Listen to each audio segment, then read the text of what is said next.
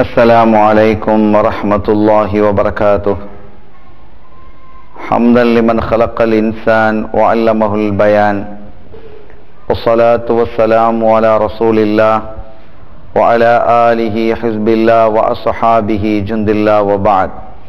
فقد قال الله تعالى في القرآن العظيم والفرقان المجيد أعوذ بالله من الشيطان الرجيم بسم الله الرحمن الرحيم إن الدين عند الله الإسلام சங்கைக்குரிய இந்த நிகழ்ச்சியை அவதானித்துக் கொண்டிருக்கக்கூடிய மூன் டிவி நேயர்களே எல்லாம் வல்ல அல்லாஹுவின் பேரருளும் நபிகள் நாயகம் ஸல்லல்லாஹு அலைஹி வஸல்லம் அவர்களது நல்லாசியும் நம் அத்தனை பேர் மீதும் நிலவுமாக அல்லாஹும் அவனது ரசூலும் எந்தெந்த காரியங்களை எடுத்து நடக்க வேண்டும் என்று நமக்கு கட்டளையிட்டுள்ளார்களோ அவை அனைத்தையும் எடுத்து நடக்கவும். எவைகளை தவிர்த்து நடக்க வேண்டும் என்று உத்தரவு பிறப்பித்துள்ளார்களோ அவை அனைத்தையும் தவிர்த்து நடக்கவும் ஆரம்பமாக. எனக்கும் உங்களுக்கும் நான் வசியத்து செய்து கொள்கிறேன். அல்லாஹ் தௌஃபீக் செய்வானாக. ஆமீன். சங்கையான பெருமக்களே சேனா உஸ்மான் இபின் அஃபான் ரதி அல்லாஹு தாலானு அவர்களுடைய ஆட்சி காலத்தில் அவர்கள் ஒரு முறை ஹஜ்ஜுக்கு வந்திருந்த பொழுது அவர்கள் தொழுகையை பூரணமாக தொழுதார்கள். அப்படி தொழுத பொழுது அங்கே சில கருத்து வேறுபாடுகள் ஏற்பட்டது. சிலர் அதை சரி கண்ட பொழுதிலும் பலர் அதை என்ன செய்தார்கள்? ஏன் இப்படி நீங்கள் தொழுகிறீர்கள்? இரண்டு ரக்காத்து தானே கடந்த காலங்கள் எல்லாம் தொழப்பட்டிருக்கிறது. கண்மணி நாயகம் செல்லல்லாஹு அலைய வசலம் கது கான ரசூலுல்லாய் செல்லல்லா அலி செல்லம் என்சில் அலைஹில் வஹ்யு ஒன்னாசி அல் இஸ்லாம ஃபீஹிம் கலீல்.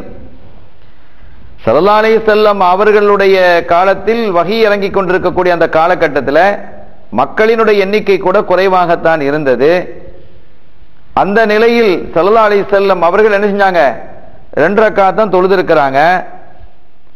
அப்படி மக்களினுடைய நெருக்கடி கூட இல்லாத ஒரு சமயம் கஷ்டம் இல்லாத ஒரு சமயம். ஆக அந்த சமயத்திலேயே இரண்டரை காத்துகள் தொழப்பட்டு இருக்கும் பொழுது மக்கள் பல்கி பெருகி சில கஷ்டங்களும் ஏற்பட்டிருக்கக்கூடிய இந்த வேளையிலே ஏன் நீங்கள் நான்கு ரக்காத்துகளாக தொழுகிறீர்கள்? இரண்டு ரக்காத்தாகத்தானே தொழணும்.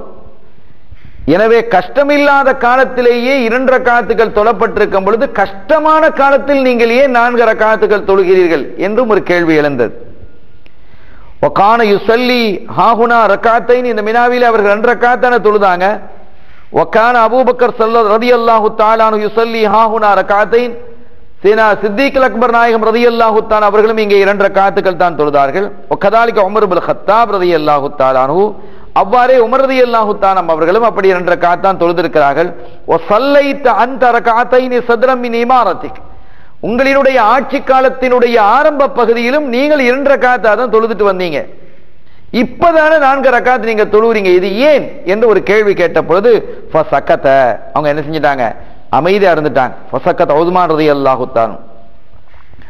அமைதியா இருந்துட்டு பின்னால சொன்னாங்க இன்னமாகுவ ரயு ரயுன் ரஐ துகு இது என்னுடைய ஒரு ரஐ என்னுடைய ஒரு ஆய்வு.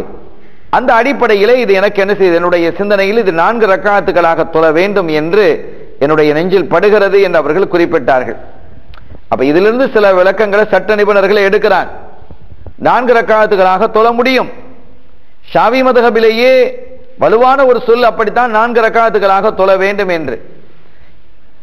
மற்ற ஷாவி மதகபிலே வலுவற்ற சொல்லும் பிற மதுகபுகளிலும் இரண்டு ரெண்டு காத்துகளாக தொழ வேண்டும் சுருக்கி தான் தொழணும் அப்படிங்கிறது ஒரு சொல் சொற்கள் இருக்கிறது. இதான் புரோயத்தான மசாலாக்களில் ஏற்படக்கூடிய கருத்து வேறுபாடுகள்.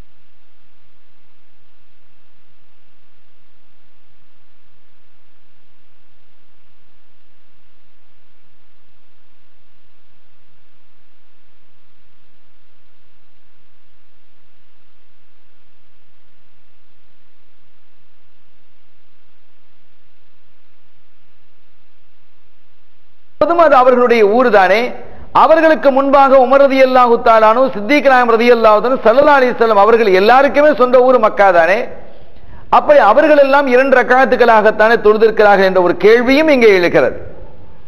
இவர்களும் இரண்டு ரக்காத்து தொழுதவர்கள் தானே இது எழுகிறது. இன்னொரு அறிஞர்கள் என்ன சொல்கிறாங்க என்றால் சல்லாஹ் அலைஹி வஸல்லம் அவர்கள் மதீனாவுக்கு போயிட்டாங்க.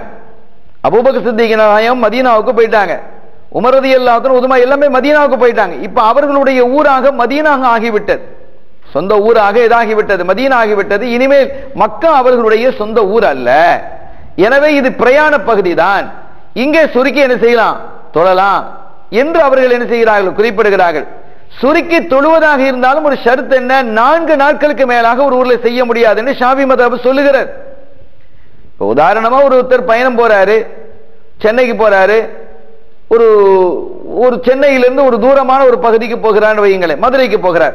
சென்னையிலிருந்து மதுரைக்கு வருகிறார். அப்போ மதுரைக்கு வரும் பொழுது அந்த மதுரையிலே அவர் போய் சேர்ந்த நாள் புறப்படுகிற நாள் இந்த இரண்டு நாள்களையும் தவிர்த்து நான்கு நாட்கள் வரை அவர் என்ன செய்து கொள்ளலாம்? அவர் சுருக்கி தொழ முடியும். அதை விட அதிகமாக அவர் தங்குகிறார். என்றால் ஆறு நாள் ஏழு நாள் தங்குகிறார் என்று இருக்குமே. ஆனால் அவர் சுருக்கி தங்க முடியும் தொழ முடியாது. இது விரிவான தெளிவாக சொல்லப்பட்டிருக்கிறது. இப்படிப்பட்ட நிலையிலே ரசூல் ஸல்லல்லாஹு அலைஹி செல்லம் அவர்கள் ஹஜ்ஜுக்கு வரும் பொழுது அவர்கள் குறுகிய காலம் தான் அங்கே இருந்தாங்க. அதுவும் ஒரே இடத்துல அவர்கள் இருக்கல மக்காவுக்கு வந்து மினாவுக்கு வந்து அரஃபாவுக்கு வந்து இப்படி முஸ்தலிஃபாவுக்கு வந்து திருப்பி மினாவுக்கு வந்து திருப்பி மக்காவுக்கு வந்து சீக்கிரமாக என்ன செஞ்சிட்டாங்க? திரும்பிட்டாங்க.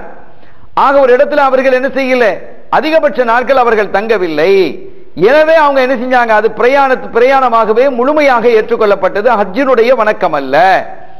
ஹஜ்ஜினுடைய வணக்கத்தை அதாவது இந்த ரெண்டரை காத்தாக சுருக்கி சொல்லப்பட்டது ஹஜ்ஜினுடைய வணக்கம் கிடையாது. மாறாக அது என்னதுதான்? பிரயாண தொழுகை தான் அவர்கள் பிரயாணத்திலேயே இருந்ததால் அவங்க அப்படி செய்தார்கள் என்ற ஒரு கருத்து. சில பேர் சொல்றாங்க இல்ல. அது வந்து அவங்க தங்குறது தங்க இல்லைங்கிறதெல்லாம் பிரச்சனை கிடையாது. ஹஜ்ஜினுடைய வணக்கமே மினா அரபால என்ன செய்யணும்? சுருக்கி தொழ வேண்டும் என்பதுதான். என்று சில கருத்துக்கள் என்ன செய்ய இருக்கிறது இந்த கருத்துக்கள் எல்லாம் ஆரோக்கியமான விவாதங்களின் அடிப்படையில் உள்ளதுதான். யாரும் சண்டை போட்டுக்கிட இல்லை. யாரும் சண்டை போட்டுக் கொள்ளவில்லை. மதகபுக்குரிய இமாம்கள் இதில் பிரச்சனைகளை என்ன செய்து கொண்டு வரவில்லை. மாறாக ஒரு செயல் இரண்டாக மூன்றாக செய்து காட்டப்பட்டிருக்கிறது. அது மார்க்கம் அனுமதிக்கிறது. அப்படி இருப்பதற்கு அனுமதி. ஒரு ஊருக்கு இரண்டு பாதைகள் இருந்தால் இந்த பாதையில் தான் போயாக வேண்டும் என்பதல்ல. இந்த பாதையிலும் போகலாம். என்று சொல்வது போன்று சரியத்தில் சில விளக்கங்கள் சில வசதிகள் செய்து கொடுக்கப்பட்டிருக்கிறது. அத்தீன் யுஸ்ருன் மார்க்கம் லேசானது. எனவே இந்த ஒரு வகையை எடுத்துக்கிடலாம் அல்லது இந்த ஒரு வகையை என்ன செய்யலாம் எடுத்துக்கொள்ளலாம் என்ற கருத்துக்கள் தான் இந்த அடிப்படையில் உள்ளது. ஆக சினா உஸ்மானிபின் அஃபான் ரதி அல்லாஹு தாலானு அவர்கள் ஆரம்ப காலத்தில் நான்கு ரக்காத்துக்களாக இரண்டு ரக்காத்துக்களாக தொழுத பொழுதிலும் பிந்திய காலங்களில் அவர்கள் பூரணமாக லுகர் அசரி ஷா போன்ற தொழுகைகளை பூரணப்படுத்தி இரண்டு இரண்டு ரக்காத்துகளாகவே தொழுதிருக்கிறார்கள். அதே போன்று அடுத்து இந்த வருடத்திலே நடந்த இன்னொரு முக்கிய நிகழ்வு சயிதுபுல் ஆசரதி அல்லாஹு தாலானு அவர்கள் ஒரு பெரும் படையை அழைத்துக் கொண்டு ஒரு யுத்தத்துக்காக போனாங்க. அந்த படையிலே சேனா ஹசன் ரதி அல்லாஹு தாலானு இருந்தாங்க. சேனா ஹுசைன் ரதி அல்லாஹு அவர்கள் பங்கு பெறுறாங்க. அப்பதான் அவங்க வந்து வளர்ந்து வாலிபமாக இருக்கக்கூடிய காலகட்டம் அது. அதுக்கு முன்னால் அவர்கள் வேறு எந்த யுத்தங்களிலே கலந்து கொண்டார்கள் என்பது நமக்கு தெரியவில்லை.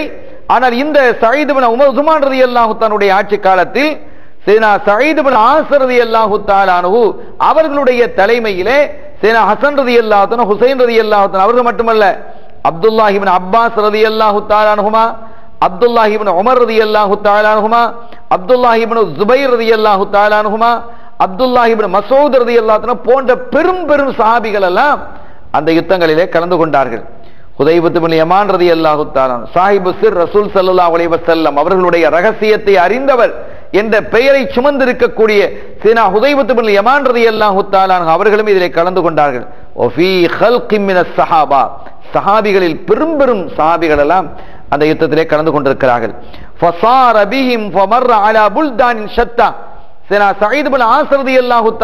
பல ஊர்களை என்ன கடந்து போனாங்க. அப்படி கடந்து போகும் ஊர்கள் எல்லாம் பெரும்பாலும் எப்படி நடந்தது என்று சொன்னால் அங்கெல்லாம் சமாதான உடன்படிக்கை நடந்து முடிந்தது. சண்டை இல்லை. பெரும்பாலான ஊர்களில் சண்டை இல்லை. ஒரு சில இடங்களில் சில சண்டைகள் நடந்திருக்கிறது. அது ஒரு பெரிய ஒரு சண்டையாக இருக்கவில்லை. சின்ன சின்ன சிறு யுத்தங்களாக இருந்தது. முஸ்லிம்களுக்கு முன்னால் நிற்க முடியாது என்று தெரிந்த பொழுது அவர்களே சரணடைந்து விட்டார்கள். பல ஊர்கள் சண்டையே இல்லாமல் சமாதானத்தினுடைய அடிப்படையில் பேச்சுவார்த்தையை முடித்துக் கொண்டார்கள். அவர்கள் இப்படியே சென்று கொண்டிருக்கும் பொழுது ஹத்தன் தஹா இலா பலதி முகாமலத்து ஜுர்ஜான். ஜுர்ஜான் என்ற அந்த பகுதிக்கு என்ன செய்றாங்க? வர்றாங்க. ஜுர்ஜான் என்று சொல்லக்கூடியவர் ஆட்சி செய்யக்கூடிய இடம். அங்கேதான் சண்டை என்பது நடந்தது. அதுக்கு முன்னாடி இருந்தாலும் சண்டை இல்லை. சும்மா சில வெட்டுக்குத்துன்னு சொல்லுவாங்க இல்லையா? அந்த மாதிரி தான் சிறு சிறு கலகங்கள் நடைபெற்றது. மாறாக ஒரு யுத்தம் என்ற அடிப்படையிலே நடந்தது என்பது ஜுர்ஜானோடு தான். எந்த அளவிற்கு என்று சொன்னால் சலாத்துல் ஹவுஃபு தொழ வேண்டிய நிலம். அவருடைய தொழுகையை விட்டுட்டு போக முடியாது.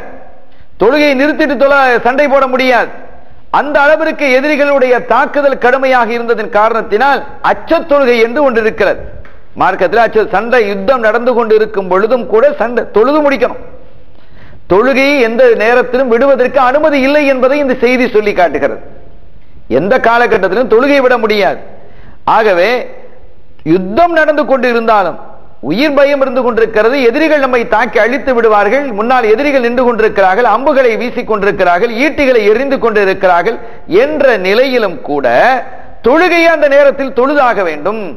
அதற்கென்று ஒரு முறையை சல்லல்லா அலிஸ்லாம் அவர்கள் கற்றுத்தந்திருக்கிறார்கள் இதற்கு சலாத்துல் ஹவுப் அச்ச நேர தொழுகை என்று அதற்கு பெயர். ஆக அந்த அடிப்படையில் என்ன செய்தார்கள்? சஹாபிகள் தொழுது முடித்தார்கள்.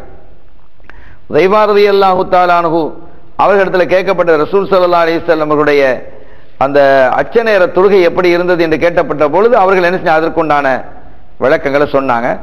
ஆனால் கடைசியில் அந்த ஜுர்ஜானுடைய அந்த ஊர் மக்களும் கூட முஸ்லிம்களோடு இனி சண்டை போட முடியாது இரக்கமாக நடந்து கொள்வோம் என்று அவர்களும் என்ன செய்தார்கள்? பிந்தி சண்டை நடந்து சென்று கொண்டிருக்கும் பொழுது அவர்களும் இணக்கத்திற்கு வந்தார்கள் என்பதை பார்க்க முடிகிறது. வாசாப ரஜுலும் மிம்பனி நகுதின் சுக்குத்தன் மக்குஃபூலன் சாயித். இந்த நிலையிலே அந்த யுத்தமெல்லாம் நடந்து சுல்கெல்லாம் முடிந்ததற்கு பிறகு ஒரு பகுதியிலே ஒரு பார்சல் ஒன்று கண்டெடுக்கப்பட்டது. ஒரு பொதி ஒன்று கண்டெடுக்கப்பட்டது. அந்த பொதி ஒன்று கண்டெடுக்கப்பட்டிருக்கிற தகவல் அமீர் அவர்களுக்கு கிடைத்த பொழுது சாயிதுமல் ஆஸ் ஹுத்தாலான அவர்கள் சொன்னாங்க அதை நீங்கள் என்ன செய்யுங்க என்னிடத்துல கொண்டு வாங்கட்டாங்க அந்த பொதி அவர்களிடத்துல கொண்டு வரப்பட்டது. அதை திறந்து பார்க்குறாங்க. ஃபைதன் ஃபீஹி ஹிர்கத்துன் சௌதா. அதற்குள்ள கருப்பு துணியை போட்டு மூடி வச்சிருக்கு. ஏற்கனவே ஒரு பொதி இருக்குது. ஒரு பார்சல். அதை திறந்து பார்த்தா அதுக்குள்ள ஒரு கருப்பு துணியை வச்சு இதைய சுத்தி வச்சிருக்கிறாங்க அதற்கு பிறகு பார்த்தால் ஃபைதன் ஃபீஹி ஹர்கத்துன் ஹம்ரா. அதை அந்த துணியை கலட்டி கலட்டி கட்டுப்பா அதை பார்த்து சுத்தி சுத்தி வச்சிருக்கிறாங்க. அதையும் எடுத்து பார்த்தா அதற்கு கீழே சிகப்பு துணியால் அதை சுத்தி வைத்திருக்கிறார்கள். வைதன் தாகிலஹா ஹிர்கத்துன் சஃப்ரா. அதையும் எடுத்து பார்த்தோம் சொன்னால் அதுக்கு உள்ள மஞ்சள் துணியால் சுற்றி வச்சிருக்கிறாங்க. என்ன இது உ- உள்ள என்னதான் இருக்கு? என்று பார்த்தால் ஓஃபிஹா ஐயரான் குமியத்து பவர்துன் அங்கே உள்ள என்ன இருக்கிறது என்று சொன்னால் அங்கே ஒரு கிதாப் தான் துணியால் சுத்தப்பட்டு வைக்கப்பட்டிருக்கிறது. அப்போ முந்தி அவங்களுடைய வேத பகுதிகள் அவங்க வேதமாக கருதி இருந்த அந்த புத்தகங்கள் அவர்கள் பாதுகாப்பாக என்ன செஞ்சிருக்கிறாங்க? வச்சிருக்கிறாங்க. அது யாரிடம் இருந்தோ நழுவி இருக்கிறது. அது முஸ்லிம்களுடைய கையிலே கிடைத்தது என்பது இது செய்தி சொல்லி காட்டும். அருமையானவர்களே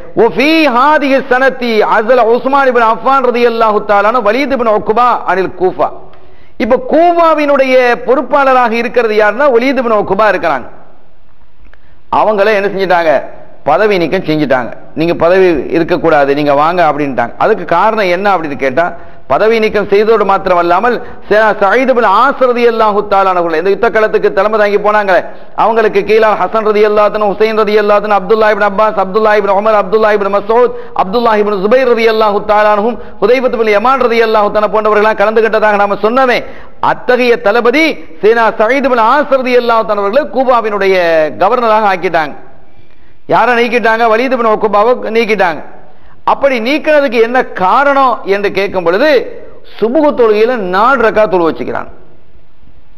ரெண்டு ரக்காத்து சுபுகு தொழுகிறதே பெரிய கஷ்டமான ஒரு நிலையில அவ்வளோ தூரம் முழிச்சு கொண்டு வரணுங்கிறது ஒரு பெரிய ஒரு சிரமமாகிவிட்டது ம- மக்களுக்கு சமுதாயத்திற்கு. ஆனால் இவர்கள் சுபுகை நான்கு ரக்காத்தாக தொலை வச்சிருக்கிறாங்க நான்கு ரக்காத்தாக ஒரு செய்தி இருக்கிறது ஆரம்ப காலத்தில் எல்லா தொழுகைகளும் நான்கு ரக்காத்துகளாக இருந்தது. பிரயாணத்தில் அது ரெண்டு ரக்காத்துகளாக மாற்றப்பட்டு ஊர்ல நான்கு ரக்காத்துகளாக தொலை வைக்கப்படணும். ஹலர்ல நாலு ரக்காத் லோஹர் அசரீஷா நான்கு ரக்காத். அதுக்கப்புறம் பிரயாணத்தில் போகும் பொழுது அந்த நான்கு ரக்காத்துகளில் உள்ளதையும் இரண்டு ரக்காத்துகளாக தொழுது கொள்ளலாம். அப்படிங்கிறது பிரயாண தொழுகையாக அது ஆனது. ஆரம்பத்தில் அப்படி இருந்திருக்கு. அதெல்லாம் முடிந்து போன சமாச்சாரம். ஆனா இப்ப என்ன செய்யறாங்க இந்த வலிதுபின் ஒக்குபா அவர்கள் என்ன செஞ்சாங்க? நான்கு ரக்காத்துகள் சுபு தொழுகையை தொழுதார்கள். ஃபகால அசீதுக்கும் அவங்க கேட்டாங்க நான் உங்களுக்கு ரொம்ப அதிகமாக தொழு வச்சுட்டனோ? அப்படின்னு கேட்குறாங்க அப்போ அவங்க வந்து சரியான புத்தியுடைய நிலையில் இல்லையோ? என்று கருதக்கூடிய அளவுக்கு ஒரு சூழ்நிலை உருவானது. அதனால் பார்த்தாங்க உதுமான் ரதி அல்லாஹான இவர் தொலை வைக்கிறதுக்கு பொருத்தம் இல்லை. யார் ஹலீஃபாவாக யார் கவர்னராக இருக்கிறாரோ அவர் தான் அந்த ஊரில் இருக்கக்கூடிய பெரிய மஸ்ஜிதில் என்ன செய்யாங்க தொலை வைக்கணும். மஸ்ஜிது நபவியில தொலை வைப்பது யார் என்றால் சீனா உஸ்மான் இபின் அஃபான். அவங்க தான் ஹலீஃபாவா இருக்கிறாங்க. யார் ஜனாதிபதி பொறுப்பை ஏற்றுக்கொண்டாரோ அவங்க தான் என்ன செய்வாங்க? மஸ்ஜிது நபவியில தொலை வைப்பாங்க யார் கவர்னராக இருக்கிறார்களோ அவங்க தான் எந்த ஊரினுடைய தலைநகர் இருக்கிறாங்களோ அந்த நகருடைய ஜாமியா மஸ்ஜித். பெரிய பள்ளின்னு சொல்லுவோம் இல்லையா? அந்த பள்ளியில தொலை வைக்கிறது இதை வழமையாக இருந்து வந்தது. எனவே இந்த பதவி இறக்கம் செய்ததோடு இந்த தொழுகையில எப்போது குழப்பங்கள் வருகிறதோ அப்போ பதவி இறக்கம் என்ன செஞ்சிடணும்? செஞ்சிடணும் உதுமான் ரதி அவர்கள் தலாடலியாக அந்த நடவடிக்கை எடுத்து சேனா ஒக்குபத்து வலீத் அவர்களை என்ன செய்ய பதவி நீக்கம் வலீது பின் ஒக்குபாவை பதவி நீக்கம் செய்துவிட்டு சயீது பின் ஆஸ் அவர்களை அந்த பதவியிலே அமர வைத்தார் என்ற செய்தியை நாம் பார்க்க முடிகிறது. இந்த வருடத்தில் தான் இன்னொரு முக்கியமான ஒரு சோக நிகழ்ச்சியும் நடந்தது. அது என்ன என்பதை ஒரு சிறிய இடைவேளைக்கு பிறகு நாம் பார்க்கலாம். சங்கையானவர்களே இந்த வருடத்தில் இருபத்தி ஒன்பதாம் வருடத்தை பற்றி நாம் பேசிக் கொண்டு வருகிறோம். இந்த வருடத்தில் ஒரு சோகமான ஒரு நிகழ்வு நடந்து முடிந்தது. அது என்ன சோகமான நிகழ்வு என்று சொன்னால் சீனா உஸ்மான் பின் அஃபான் ரதி அல்லாஹு தாலானுடைய கையிலே ஒரு மோதிரம் இருந்தது. கண்மணி நாயகம் செல்லல்லா கிருஷ்ணம் அவர்களுடைய மோதிரம் அது. ரசூல் சல்லா அலிசல்லம் அவர்களுக்கு பிறகு சித்திக் நாயகம் சித்தி நாயகத்துக்கு பிறகு உமர் ரதி அல்லாத்தன் அவர்களும் உமர் நாயகத்துக்கு பிறகு உதுமான் ரதி அல்லாத்தன் அவர்களும் கையில என்ன செஞ்சாங்க? அணிஞ்சு வச்சிருந்தாங்க. அந்த மோதிரம் ஒரு நாள். சினா உஸ்மான் ரதி அல்லாஹு தாலான அவர்கள் அரீஸ் என்ற கிணறின் மீது உட்கார்ந்துருந்தாங்க பொதுவாக அரபுகள் அப்படி உட்கார்ந்துருப்பாங்க. கிணறு இருக்கும். அந்த கிணத்துக்கு உள்பகுதியில் காலை தொங்க போட்டிருப்பாங்க. தொங்க போட்டுட்டு உட்காந்துட்டு இருப்பாங்க. உட்காந்து இப்படி வரிசையாக உட்காந்து பேசிடுவாங்க கிணற்றினுடைய உரை இருக்கிறது அல்லவா? அந்த உரையில் வரிசையாக உட்காந்து இப்படி பேசிட்டு இருப்பாங்க. அவருக்கு கீழே இருந்து இருக்கும். கொஞ்சம் சுகமாக இருக்கும். உஷ்ண காலங்கள் உஷ்ண பூமி அல்லவா அது? அப்படி அவர்கள் அமர்ந்திருக்கும் போது அவர்களுடைய கையிலிருந்து அந்த மோதிரம் கலண்டு அந்த கிணற்றுக்குள்ளால் விழுந்து விட்டது. அதை தேடுவதற்காக ஒகியமின் அக்கல்லில் ஆபார் இந்த அரீஸ் என்ற கிணறு அது. அது மதீனாவிலிருந்து இரண்டு மைல் தூரத்தில் இருக்கு. இது எப்படிப்பட்ட கிணறுன்னு சொன்னால் தண்ணி இருக்கிற கிணறுலேயே ஆக குறைவாக தண்ணி உள்ள கிணறு தான் அது. எத்தனையோ கிணறுகள் இருக்குது? சரலாசனுடைய வபாத்தின் போது கூட ஏழு கிணறுகள் இருந்து தண்ணீர் கொண்டு வந்து அவர்களுக்கு குளிப்பாட்டப்படணும் அப்படின்னு அவங்களே சொல்லி வச்சிருந்தாங்க. அப்படி நடந்தது. அப்ப குறிப்பிட்டு அவர்கள் ஏழு பல கிணறுகள் இருக்குது. அந்த பல கிணறுகளில் ஏழு கிணறு அவங்க குறிப்பிட்டாங்க. அந்த கிணறுல இதுவும் ஒண்ணுதான். அரிய என்ற கிணறு. இந்த கிணத்துல தான் என்ன செஞ்சிருச்சு? இவர்களுடைய மோதிரம் விழுந்து விட்டது. ஆனால் அந்த கிணறு எப்படிப்பட்டது என்றால் மற்ற கிணறுகளை விட மிக குறைவான தண்ணீர் உள்ள கிணறு அவன் மோதிரத்தை கண்டுபிடிக்கிறது ஈஸி தானே? ஈஸினா மற்ற கிணறுல விழுந்ததை விட இது தண்ணீர் குறைவாக தானே இருக்கிறது. ஃபலம் யுத்ரிக்க ஹபரகு பாத பதிலி மாலின் ஜசீல். எனவே எப்படியாவது அந்த மோதிரத்தை எடுத்தரணும். சல்லல்லாஹ் அலைஹி அவருடைய திருக்கரத்தில் இருந்தது.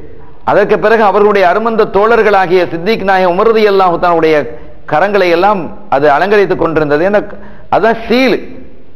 சாப் வைக்கிறது அந்த மோதிரத்தில் இழுத்திருக்கும் அந்த கடிதத்தை எழுதி விட்டு அதை வைத்து தான் என்ன செய்வாங்க? சாப் பண்றது சீல் வைக்கிறது. அப்படி ஒரு பொறுப்பான ஒரு விஷயம் அது.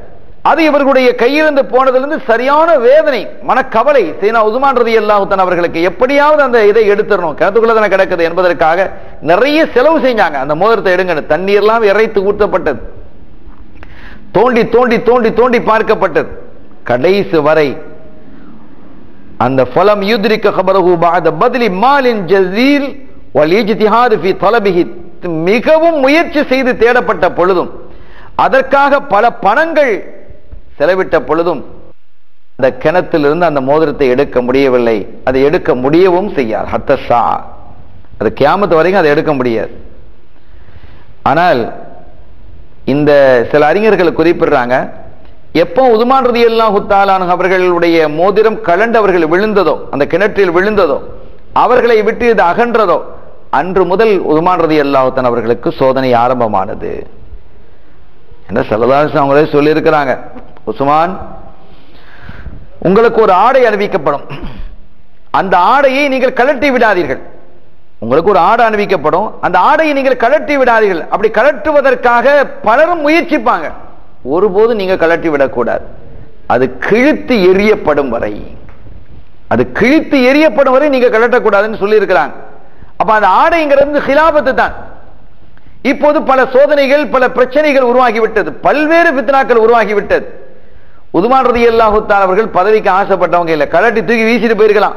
ஆனா சல்லல்லாலின்னு சொல்லி இருக்கிறாங்க நீங்க கலட்ட கூடாது அதுக்கு பிறகு உங்களிடம் இருந்தது கிழித்து எரியப்படும் அப்படின்னா என்ன அர்த்தம்? உங்களை கொண்டுடுவாங்க ஷஹீதாக்கிடுவாங்க. அப்படிங்கிறது அதனுடைய பொருள்.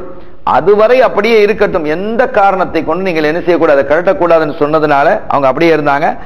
ஆக அது எப்போது ஆரம்பமானது அந்த குழப்பம் என்று சொன்னால் எப்போது இவர்களுடைய கையிலிருந்து அந்த மோதிரம் அந்த அரிசி என்ற கிணற்றிலே விழுந்ததோ அது முதல் ஆரம்பமானது. ஃபஸ்தகலஹ ஒதுமான் பகதஹு ரதியல்லாஹு தாலானு ஹாத்தமன் மின் ஃபில்லா. ஒனகஷ அலைஹி முஹம்மதன் ரசூலுல்லா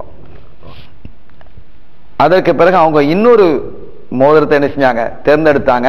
சீலுக்காக வேண்டி சாப் பண்றதுக்காக வேண்டி. அதில் முகமது ரசூல்லா என்று அவர்கள் அந்த எழுத்தை பதித்தார்கள். ஃபலம்மா குத்தில உஸ்மான் ரதி அல்லாஹு தானா ஜஹபல் ஹாத்தம் ஃபலம் எதிரி மன் அஹதஹு. அவர்கள் ஷஹீதாக்கப்பட்ட பொழுது உதுமான் ரதி தஆலா ஷஹீதாக்கப்பட்ட பொழுது அவர்களுடைய கையில் இருந்த அந்த மோதிரமும் காணாமல் போனது. யார் அதை எடுத்தது என்பது கடைசி வரை தெரியவில்லை. இந்த வரை அந்த மோதிரத்தை எடுத்துட்டு போனது யாரு என்பது தெரியவில்லை. சரி இந்த மோதிரம் சல்லல்லா அலி செல்லம் அவர்கள் எப்படி செய்திருந்தாங்கன்னா இத்திஹாத் நபி சல்லல்லா அலி செல்லம் ஹாத்தமன் மின் ஜஹபின் சும்ம மின் ஃபுல்லத்தின். முதல்ல தங்கத்துல தான் அந்த சாப் செய்யறதுக்கு அந்த மோதிரத்தை தயார் பண்ணாங்க. பிறகு அது சரி வ- சரியில்லை என்று அவர்கள் என்ன செஞ்சாங்க? சுபத்து வெள்ளியில அதை தயார் பண்ணினார்கள். ஓ பாதஹு உமர் ஹத்தாப் ரலியல்லாஹு தஆலானு இலா கிஸ்ரா. கிஸ்ரா மன்னனுக்கு உமர் ரலியல்லாஹு தஆலானு ஒரு ஒரு கடிதம் எழுதினார்கள். அதற்கும் அந்த சீலை தான் வச்சு அனுப்புனாங்க. சும்மா திஹ்யா இலா கைசர். கைசருக்கு என்ன செஞ்சாங்க? தூது அனுப்புனாங்க. அந்த தூதுவராக போனது திஹயத்தில் கலபி ரலியல்லாஹு தஆலா. அதுக்கும் அந்த சீல் தான் வைக்கப்பட்டது.